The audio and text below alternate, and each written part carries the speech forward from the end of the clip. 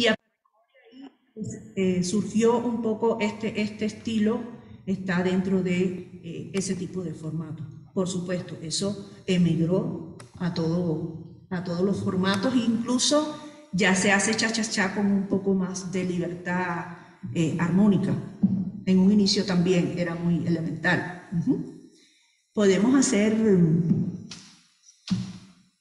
a ver, vamos a sol,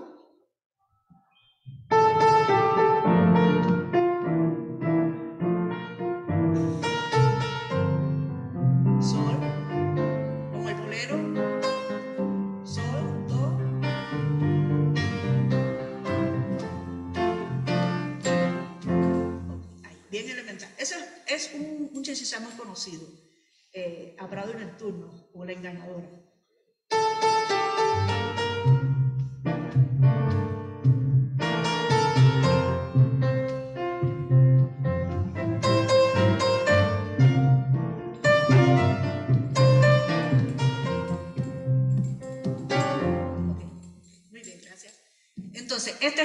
Ya el acompañamiento es otro.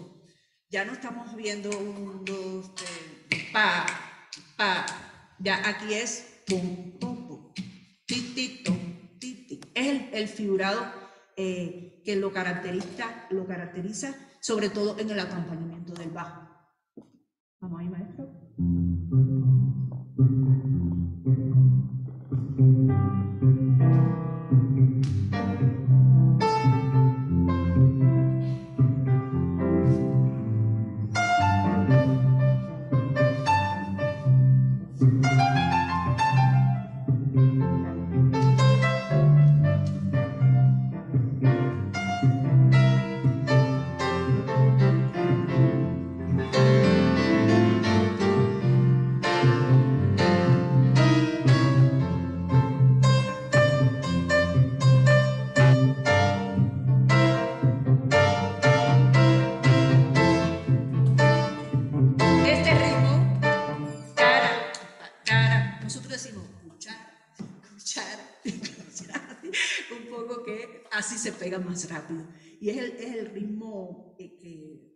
Es como la médula, ¿no?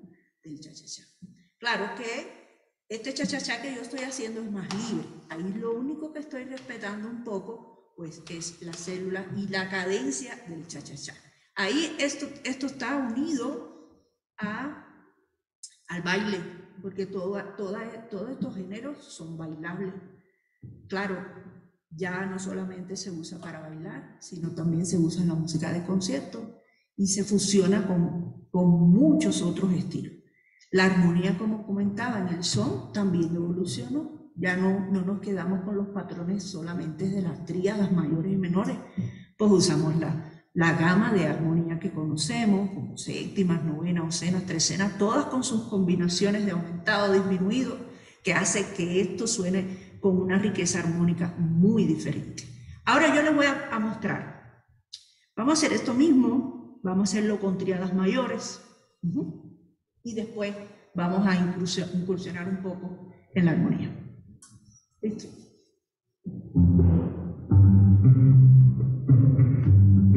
El ritmo ahí, el patrón, si se mantiene.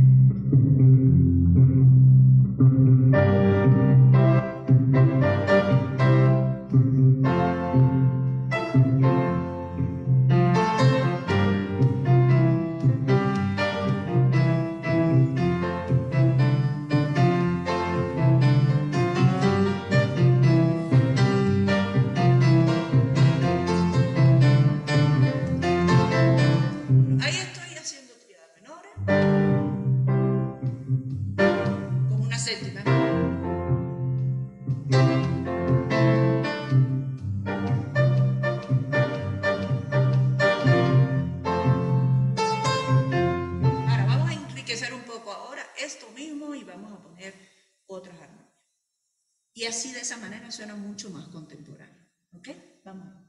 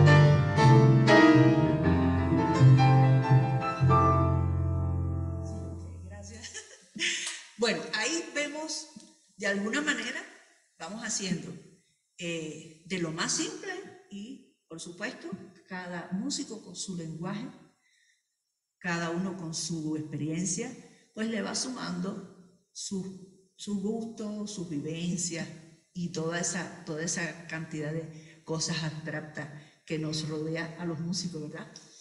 Entonces, bueno, ahora vamos a hacer otro, otro género. Vamos a hacer algo de danzón, ¿verdad? Un danzón que, bueno, aquí en, Monte, en, lo que es México se adueñaron de, de este género porque se apropiaron de él y ahora dicen que el danzón es de aquí de México. Pero eso no es así, el danzón surgió en Cuba. Pero bueno, nada, eh, la música es internacional al final eh, quien la hace es el dueño de ella, ¿verdad?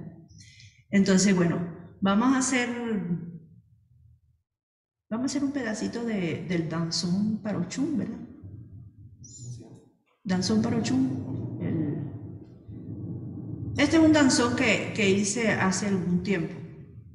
Ahora, ¿qué pasa? El danzón no tiene, o perdón, tiene una forma que si la comparamos con la con la forma clásica, tiene una forma rondó. El rondó es, un tema que se va a ir, eh, es cíclico, porque viene un tema, viene otro y vuelve a repetir ese tema, pero con otras cosas, y de ahí, y así se hace muy cíclico, y vuelve a repetir el, el tema A, y así lo va eh, pues interactuando en toda la obra.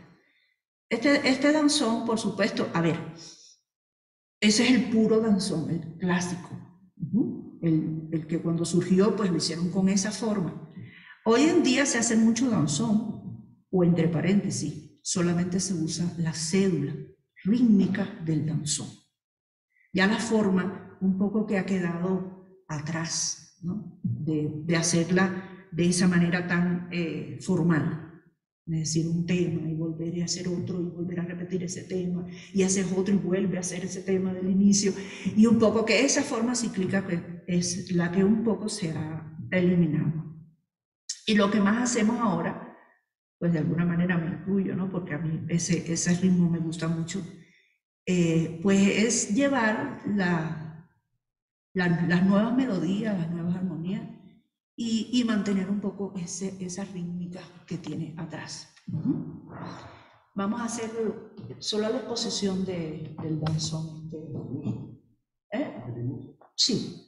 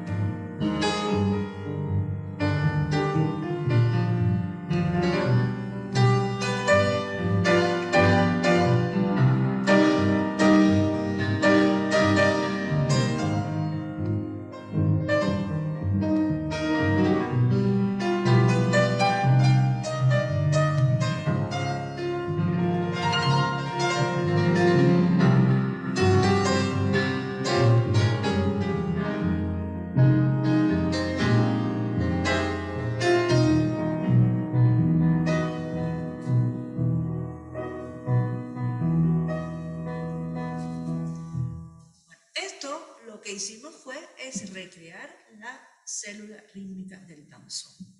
No fuimos más allá a los giros armónicos que se usaban en la época, ni la forma que se usa en la época, porque todo va, va a ir evolucionando en la música. Y un poco que por eso comentaba con, con estudiantes de música de aquí de México, que hay que buscar en las raíces nuestras de cada, de cada país y evolucionar esa música, no dejarla estática eh, en el mismo lugar donde está. Y la evolución la va dando realmente el nivel que van alcanzando los estudiantes en las escuelas, porque la escuela de alguna manera, me refiero a las escuelas de música, pues va a ir subiendo el nivel eh, cognitivo y va a ir subiendo el nivel técnico de cada instrumentista. Y en la medida que el instrumentista sea un poco más eh, dueño del instrumento, pues de alguna manera la música va, a ser un poco más enriquecida. Entonces, eh, siempre hablo de eso, de que hay que rescatar los, los géneros y los estilos del país, las raíces de cada país. Y esa responsabilidad la tienen los músicos de ese, de ese país. Porque, a ver, cuando vemos el jazz, el jazz es uno de los eh, estilos más grandes del mundo, ¿verdad? Más abarcador. Y es algo que siempre hay que, hay que beber de esa fuente. ¿Por qué? Porque tiene, tiene una organización hecha, tanto armónica como melódica como de estilo. Entonces, cuando te dan todos esos elementos teóricos, todos esos elementos propios de la tradición, porque como ya sabemos, el jazz surge del pueblo, donde más eh, se escuchaba el jazz. Bueno, íbamos a las iglesias y ahí podías encontrar pues la raíz de todo, ¿verdad? Esos negros espiritual, toda esa gama de, sentimientos que sale de, esos lugares. Y eso, por supuesto, fue evolucionando. Y cuando vemos las academias de música, pues un poco que hay que, hay que prestar un poco atención a nuestras raíces para precisamente ir evolucionando y llevarla, irle sumando todos los conocimientos que podemos eh, adquirir durante toda la, la, gama de, de, culturas que hay, ¿verdad? Entonces, vamos a hacer ahora, vamos a hacer algo más fusionado. Este mismo danzón, al final, en vez de hacer lo que generalmente se hace en el danzón, que se hace un abanico y se va, el abanico es una forma de que hace la percusión, como un llamado, ¿no? Y ahí se va entonces a algo que es así como un tumbao, muy cadencioso, porque el danzón, como ven, es un, es un, un género que no es rápido. Además tiene su baile específico con sus marcas en los pasos y toda esa, todo, todo un, es, todo un, recital de cosas, sí, sí, sí, así mismo. Porque según los cambios, así se baila o no se baila. Porque el danzón tiene eso, tiene una parte que se llama paseo, que es el que se va manteniendo en esta forma cíclica que le decía, que iba, que iba insertándose en los diferentes temas que van saliendo, que son los que se bailan. Entonces, esa parte del paseo era el momento donde pues el bailador paseaba con la, con la compañera y ella se abanicaba, sobre todo en los lugares así calurosos, se abanicaba.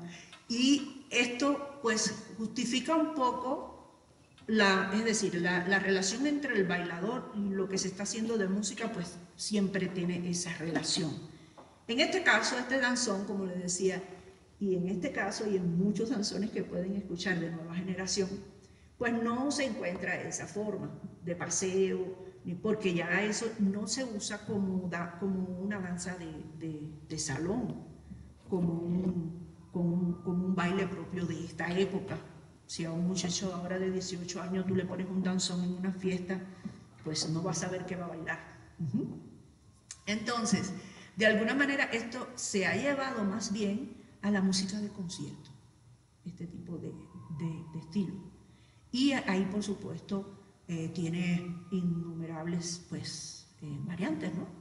Ya un poco que uno hace la cédula y ya estás dentro del danzón, ya, ya estás haciendo un danzón, es todo. Ya lo demás pues va fluyendo de manera diferente.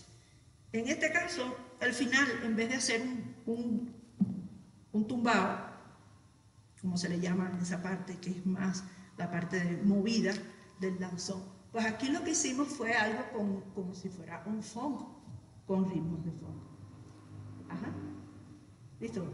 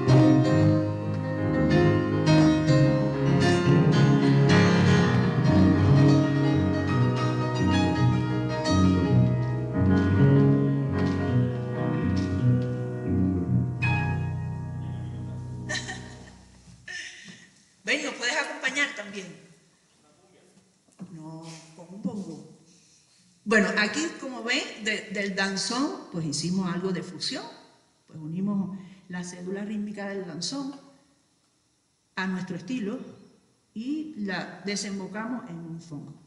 Esto es ya muy normal en la música actual, de empezar con un ritmo y ir pues mezclando, mezclando, y las mezclas hay veces que suelen ser muy buenas, hay veces que no, pero bueno, de manera general siempre la fórmula de mezclar de unir, pues, pues da resultados bien interesantes.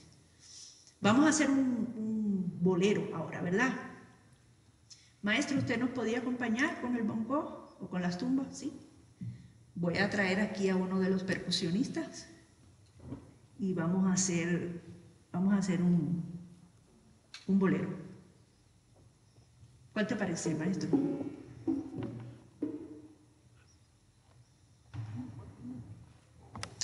¿Cómo fue? ¿En do?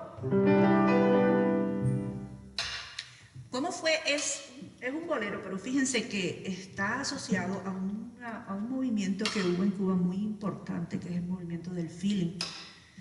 El movimiento del feeling está muy relacionado con lo que es el blues y la forma de, de, expresión de esa, de esa época. Es muy de feeling, como lo dice la palabra, es muy el cantante se toma todo el tiempo que quiere. Acompañar un, una persona que se dedique a cantar feeling era bien complicado porque era como caerle atrás, porque lo mismo te adelantan el tiempo como que te lo corren. Entonces hay que estar como que muy a la viva a la hora de, acompañar. Pero hoy vamos a hacerlo lo más eh, a lo bolero posible. ¿okay? No nos vamos a ir tanto al feeling. El feeling generalmente no se hacía con grupos, precisamente por esa característica. Se hacía de voz con guitarra, se destacaron mucho los guitarristas en esa, en esa época del feeling, porque las armonías eran bien complicadas y eran muy fusionadas con lo que estaba pasando en, ese momento en, el jazz. Entonces eran, eran armonías bien eh, cargadas de novenas aumentadas y de trecenas. Y ya les digo, era seguir al cantante. Pero bueno, ahora vamos a enfocarnos a, a este bolero eh, de José Antonio Méndez, ¿verdad? Sí. Que está, pues bueno, vamos a centrarlo en el tiempo bien del bolero.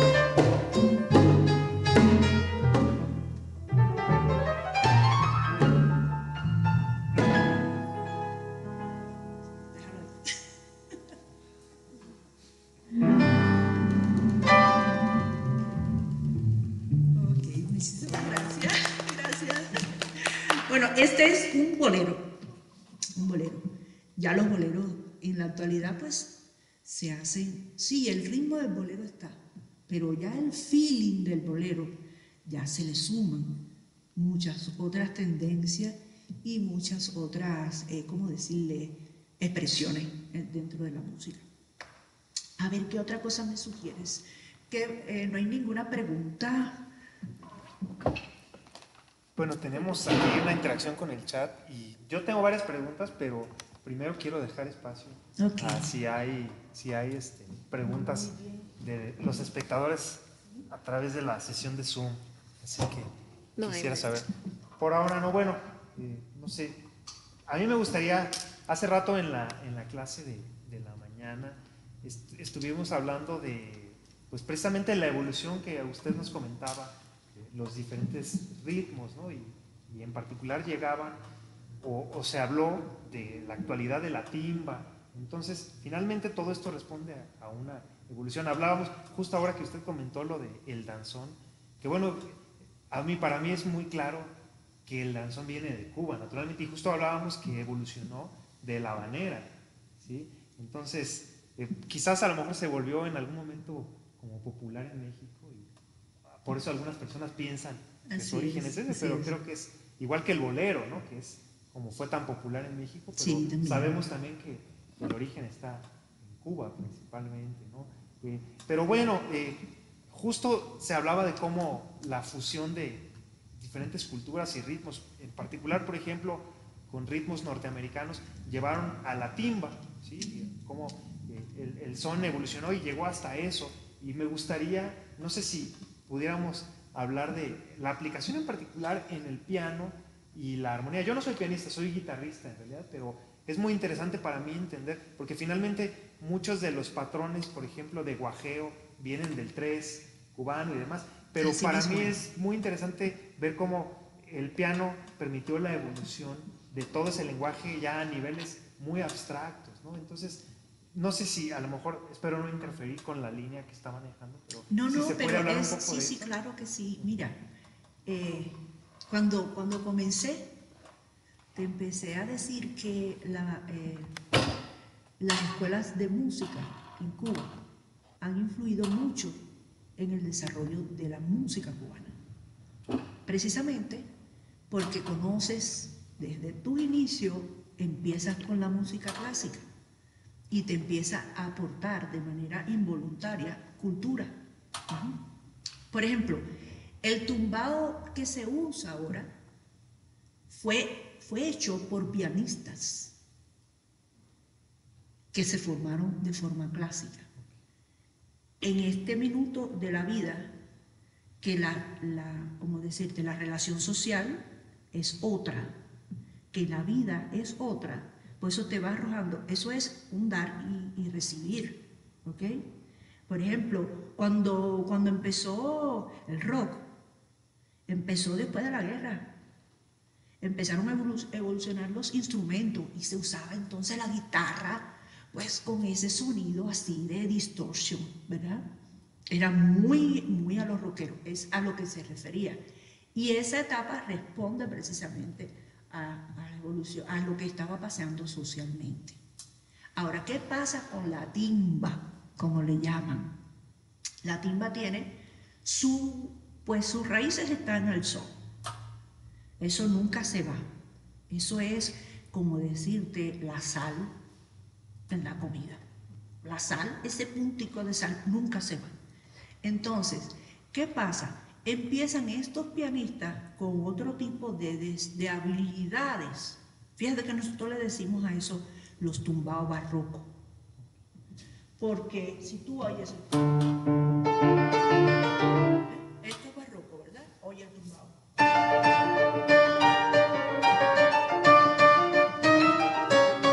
Entonces, un poco que se va mezclando ese conocimiento que traen estos muchachos con lo que está, lo que pasa en el baile. ¿Qué pasa en el baile?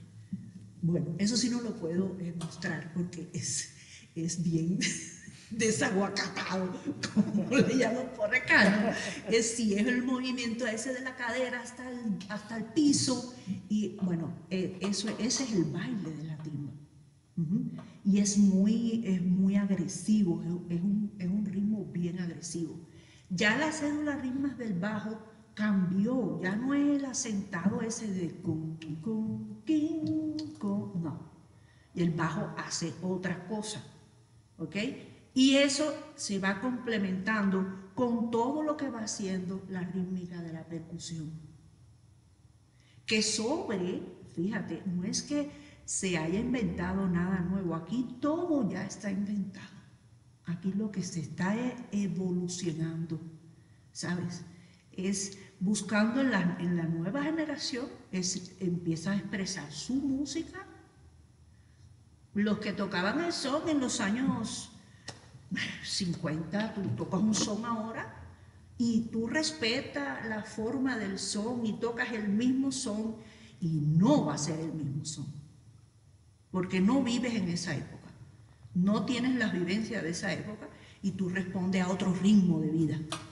¿Entiendes? Entonces la timba, para que te quede claro, siempre igual que la salsa, hay una diferencia.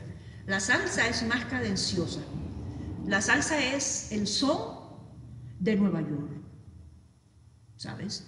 Eh, eh, fue agarrar todo, toda esa gama rítmica y ponerle un poco de letras, de narraciones históricas, como por ejemplo Rubén Blades, ¿sabes? Exponentes como eso, ¿no?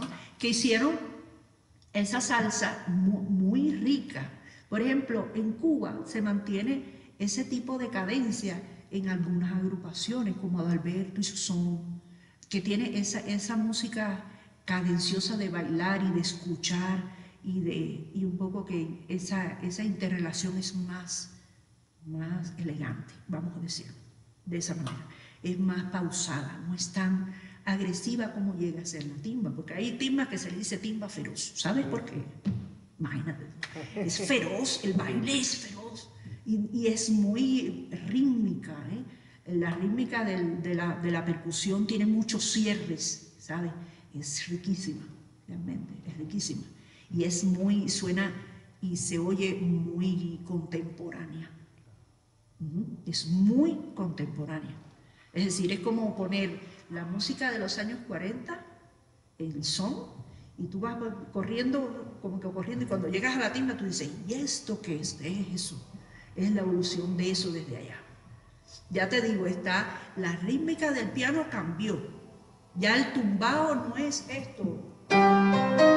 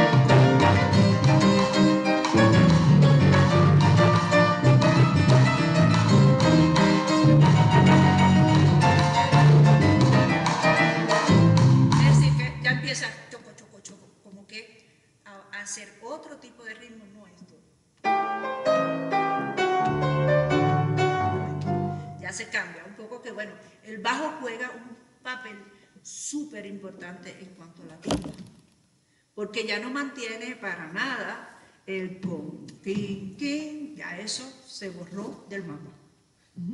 Ya sobre los grados se empieza a hacer otro tipo de ritmo. ¿ok? Y a partir de ese ritmo que hace el bajo, sale el ritmo del piano.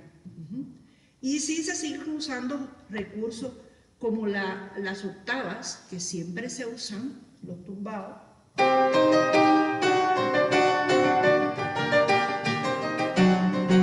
Siempre se usa la octava en, todo este tipo de, de- de género y se arman las, las, eh, los tumbados a partir de eso. Pero también hay partes, según la canción y según el momento que sea, que en la timba es como decir, se baja la banda. Cuando se baja la banda es el intercambio entre el cantante con el bailador. Y esa parte, ya te digo, el bajo con la percusión juegan un papel súper importante, porque eso se va quedando como abajo, lo que es el, el tumbado del piano eh, llega a ser muy sencillo en esas partes hasta que sube, ¿ok? Hasta que sube. Por ejemplo,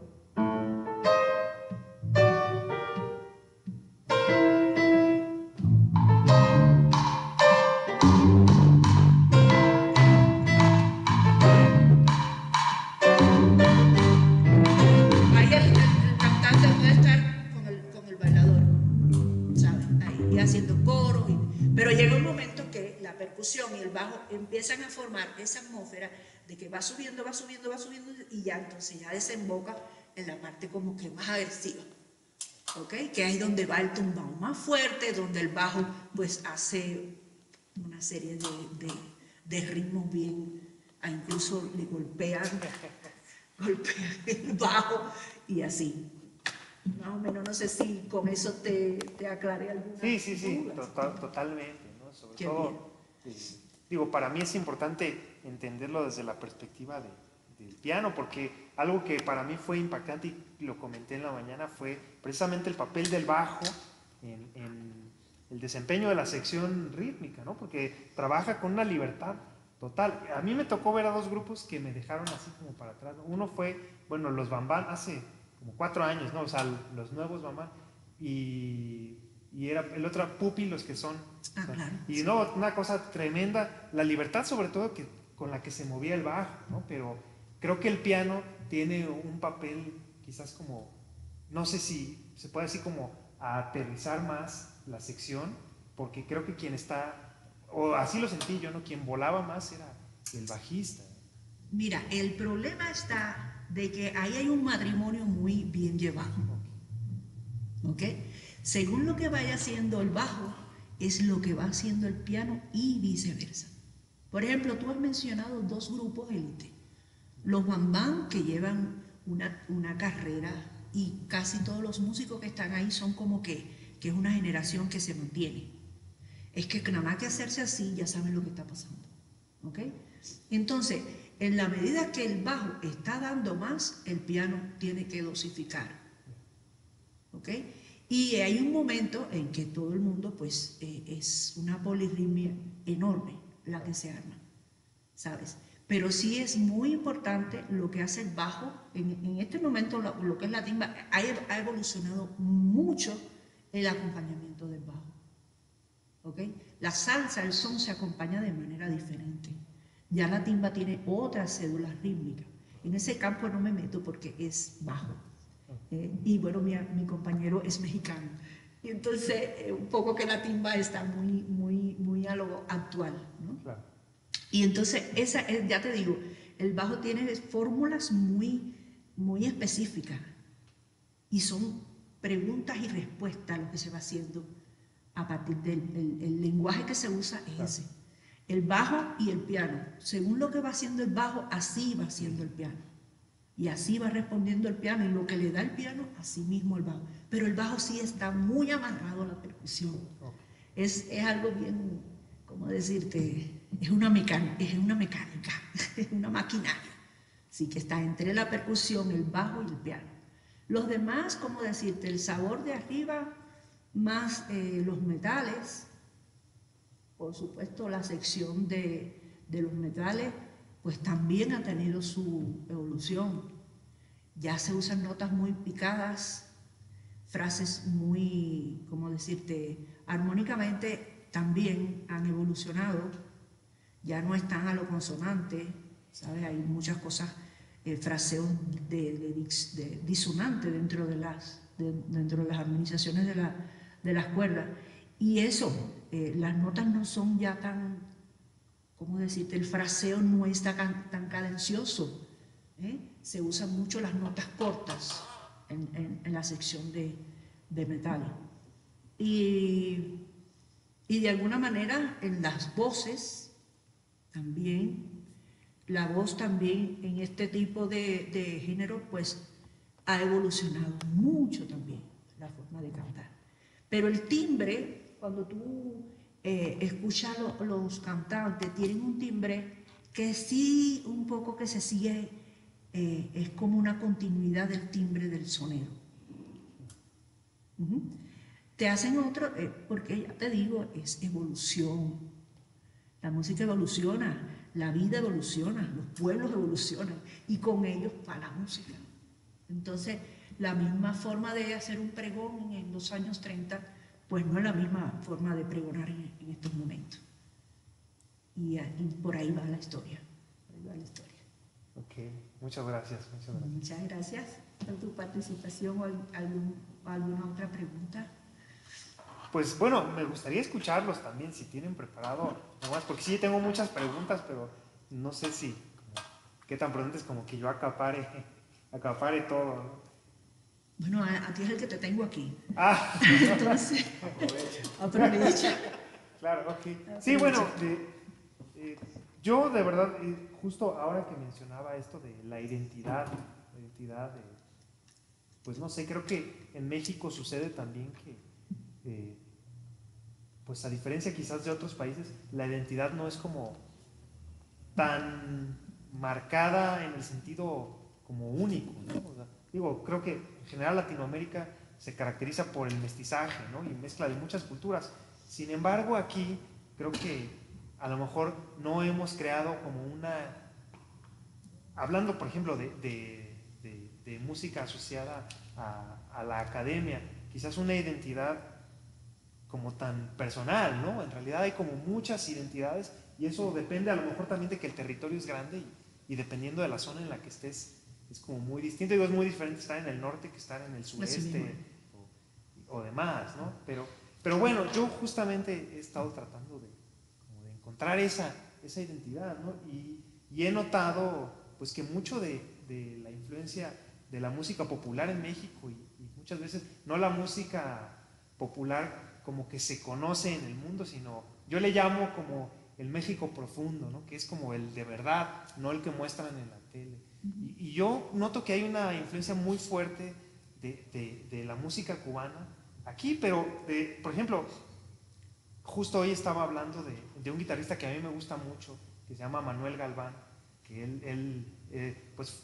fue famoso por lo de Buenavista Social Club, pero no es como tan conocido, ¿no? Y, y él tocaba guitarra eléctrica, fue famoso luego por Ray Cooder, pues, ¿no? que hizo grabaciones con él, pero creo que mucha de la identidad de la guitarra eléctrica mexicana tiene que ver con lo que personas como él crearon en los 50s y, 70s, ¿no? Entonces, bueno, ya sin más, sin más este, como preámbulo, a mí en particular sí me gustaría que habla, me hablara de cómo la armonía de la música popular cubana, pues influenció como a estas corrientes modernas, porque sabemos que se influenció en general en cierto momento del el jazz, ¿sí? y de, en particular de, música norteamericana, pero hay una tradición académica muy fuerte y lo, lo hablábamos en la mañana, ¿no? Yo noto que a diferencia de otros países, la música,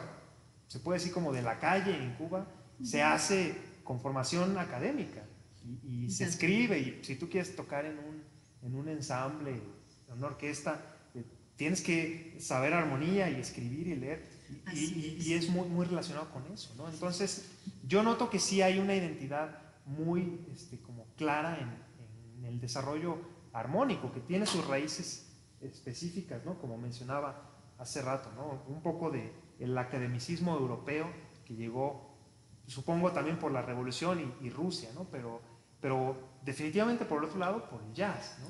Pero a mi parecer es una identidad como ya como sumamente madura, ¿no?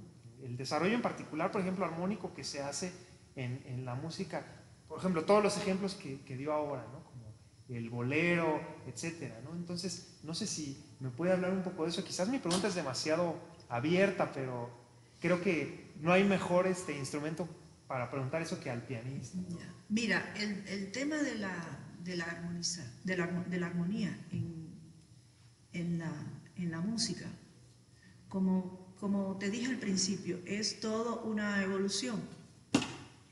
Todo, cuando tú siembras una semilla, tienes esa semilla, ella echa raíces, echa dos hojitas, después el tallo crece, después tiene más, más, eh, más frondosas todas las hojas y ya llega a tener frutos. Lo mismo pasa en cualquier género o cualquier estilo. Por eso te decía que hay que buscar el crecimiento en la música. El crecimiento en la música está dado precisamente por eso. Cuando yo te ponía el ejemplo al inicio de primero, cuarto, quinto, tú puedes seguir, en estos momentos se hace primero, cuarto, quinto, porque es, es, un, es un giro armónico que es muy utilizado en cualquier tipo de género. Pero ese primero, cuarto, quinto no se hace con tonalidades mayores y menores. En la medida que ese músico va teniendo más conocimientos armónicos, llega un momento que la creatividad pues es mayor. Si tú nada más que conoces qué era lo que pasaba en los inicios, eh, cuando se hace, cuando surge este, este, tipo de género, vamos a poner ejemplo, el son, lo tocaban y lo hicieron personas que muchas no eran músicos, tenían la intuición de la música, la imaginaban y la empezaron a crear, pero eran muy de pueblo, pero ya eso, cuando va pasando el tiempo, va evolucionando, los músicos van evolucionando, van teniendo mayor conocimiento, pues la riqueza armónica pues es mayor. ¿Entiendes? Y no por eso te quedas en el mismo lugar. No te puedes quedar en el mismo lugar en la historia, porque todo va, va creciendo, va creciendo. Y la armonía pasa lo mismo. Cuando tú, mira, yo tengo una anécdota. Yo tenía un alumno que estaba empezando a estudiar música, me vino ahora el recuerdo, porque hace, hace un tiempo, bueno, hicieron algo que estaba relacionado conmigo y él hizo esa anécdota. Me dice, no, yo empecé eh, a estudiar piano y yo oí a mi maestra que ponía unos acordes extraños. Y, y en una de esas me pregunta, maestra, ¿y este acorde lo puedo poner aquí? Es que a mí no me suena bonito, me suena feo. Y yo le dije, feo eres tú. Pero mira, fíjate, eso pasó y trascendió. Te estoy hablando de hace muy poco que él hace esa anécdota. Y hoy, hoy en día un pianista muy reconocido en Cuba. ¿no? Y, y, y, me dice, maestra, es que yo oía las novenas aumentadas, esas me sonaban a rayo. Ah, ¿por qué? No la conocía. Es lo mismo que pasa cuando empiezan a surgir estos géneros. Es muy elemental. Ya después, en la medida que pues va evolucionando la música, pues todo va, se va enriqueciendo. Y una de las cosas que más enriquece es la armonía. La influencia de la armonía del jazz, eso ha minado el mundo entero. Todo el que empieza a escuchar jazz, que es músico, empieza entonces a tener la tendencia de, déjame ver cómo funciona esto. Si a ellos les funciona allí, yo quiero que me funcione a mí aquí con la clave atrás.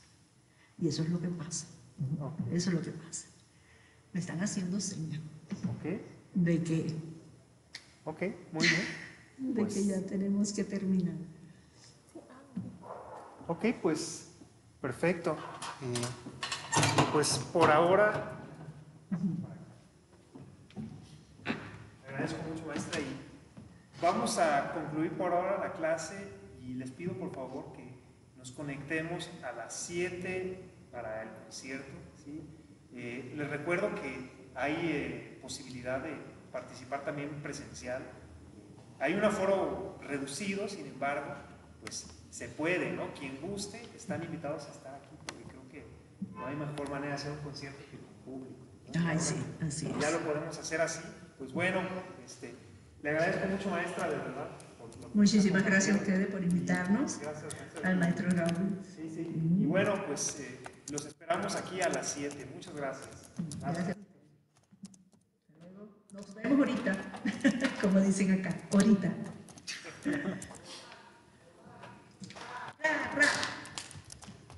Listo, muchachos, cuando quieran.